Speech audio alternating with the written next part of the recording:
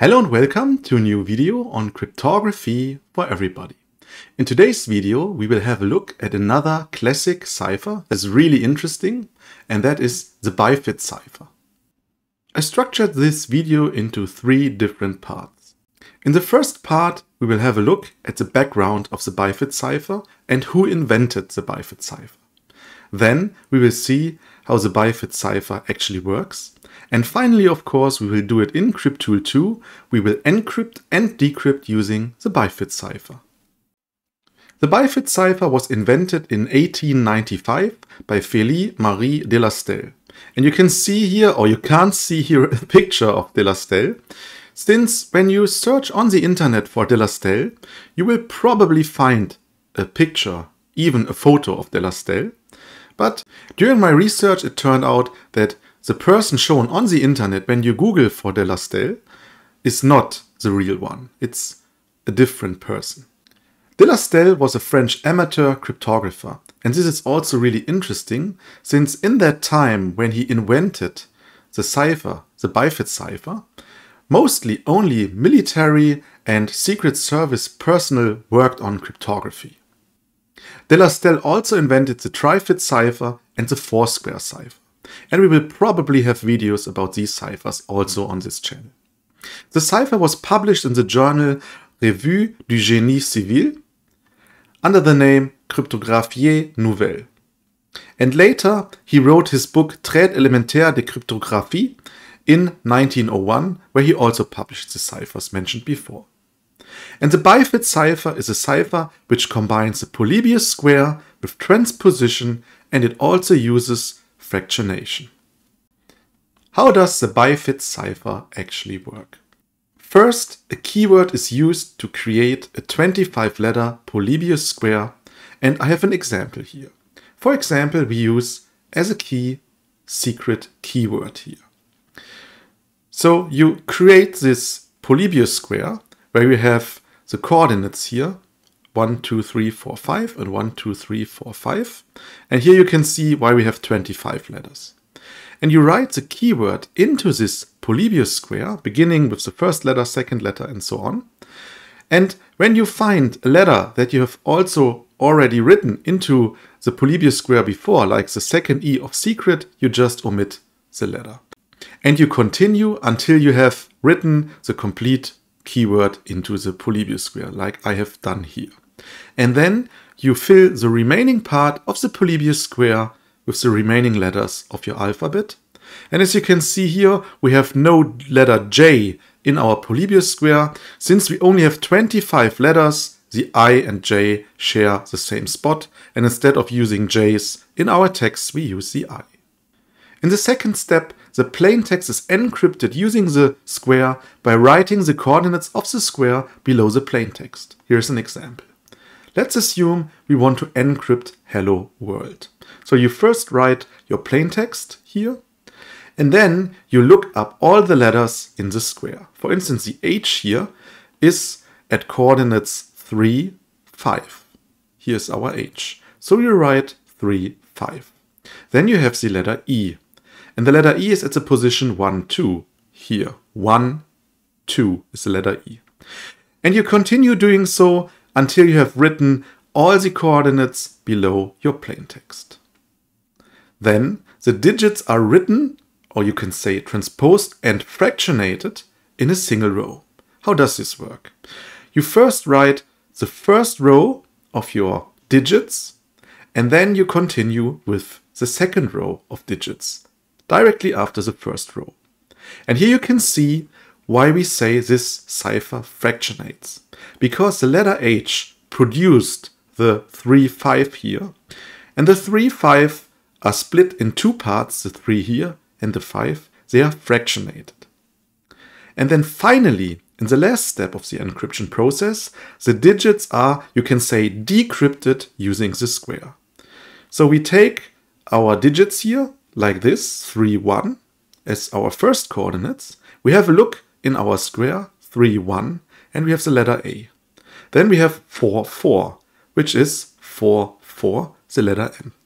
And we continue doing so until we have, you can say, decrypted all of our digits. In the end, the ciphertext that we obtain has of course the same length as our plaintext. But it has been at first substituted by digits. These digits then were transposed and fractionated and finally again substituted using the Polybius square. And I also marked here which letters are influenced by our first letter in the plaintext. And these are actually two since, as I said, we fractionated our digits. The decryption process of the BiFID cipher, of course, is the reverse process. So you do all the steps in the reversed order. Now let's have a look at the key space size of the BiFID cipher. And the key space size k is 25 factorial, which is about 2 to the power of 83.68 keys. Why is it 25 factorial? Let's have a look at the Polybius square again. And in our Polybius square, we have 25 different positions where we have to put in 25 different Latin letters.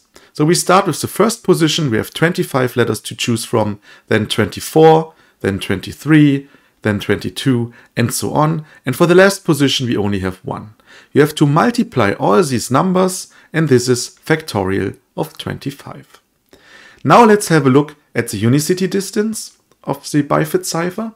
And the unicity distance is the minimum length of ciphertext that you need that you can expect only one solution, only one possible plaintext. When you go below this unicity distance, with very high probability, you get more than one valid solution that are not indistinguishable for an attacker. We also have a video about unicity distance on this channel. So how do we compute the unicity distance here? The unicity distance u is the entropy of the key space divided by the redundancy of the language.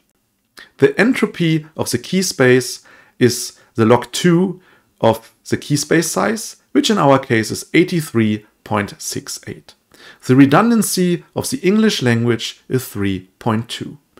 When we divide these numbers, we get as a result 26.15, which means that a ciphertext should have a minimum length of 27 that we can expect a unique solution. I also have to tell you that the encryption of the cipher can be performed in two ways. First, we could encrypt the complete plaintext in one go. That is what we did in the example on the previous slide. But there's also another way how you could use a cipher, and that is encryption of individual blocks of plaintext. For instance, you cut your plaintext into blocks of five, and then you perform the previously shown steps for encryption on each of these blocks individually. Also, instead of a 25 letter Polybius square, you could use a 36 symbol square. And this would allow you in also to encrypt the letter J and additionally, for instance, the digits from 0 to 9. Now that we know how the BiFID cipher works, let's encrypt and decrypt using the BiFID cipher component of Cryptool 2. I'm here now in Cryptool 2 in the nightly build 9413.1 and I want to show you how you can use the BiFID cipher. And to do so, we create a new workspace. In the new workspace, in the components section, we search for BiFID cipher and drag and drop a BiFID cipher component onto the workspace. Then, of course, we need some text inputs and outputs. Text input for our plain text, then a text input for the key or the keyword. Word. And we connect these to our component. Then, of course, we want to see the ciphertext. And to do so, I want to have the same sizes. So I have biggest width and biggest height.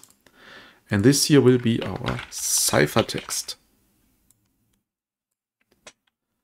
And then I also want to have a second BiFID cipher that we use for decryption. We connect the same connections. And of course, this is wrong here. we want to decrypt previously created ciphertext. So we have here the decrypted plain text. And now we have to set up our components. The first component should encrypt and alphabet is 25 letters. The second component should decrypt and also the alphabet is 25 letters. We want to have a secret keyword and you can even keep the spaces because your component automatically removes this. And you can also write in lowercase since it automatically changes everything to uppercase. And then we write this is a test of the new Bifid component of cryptool2. And since we use a 25 letter alphabet right now, we have to write 2 instead of the digit 2. Now let's test it. We just press play. And then we can see that this component here, the Bifid cipher component, encrypts using the Bifid cipher. And the second component, of course, decrypts, because here we have our original plaintext. Now, as I said, we can change a few things here. For instance, we can enable the period.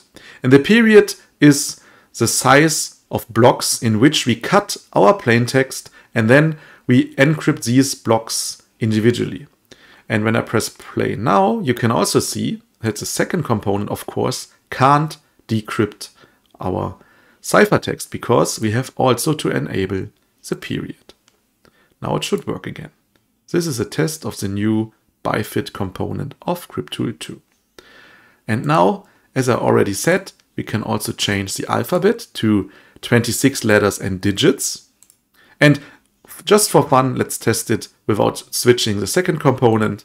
And then you can see that this, of course, also doesn't work because we also have to switch the second component to alphabet 26 letters and digits.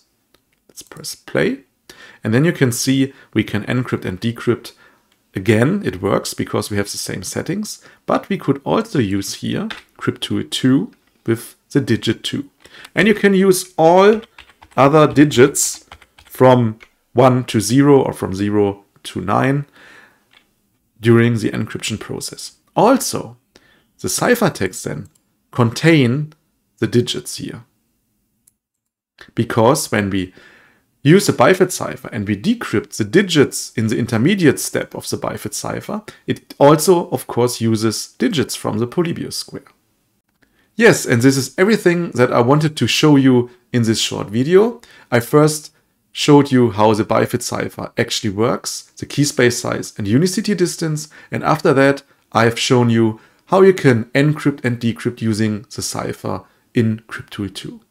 Yeah, if you did not yet subscribe to this channel, please do so. This really helps me to grow the channel and to make cryptool2 more popular. So thank you very much for watching and see you in the next video.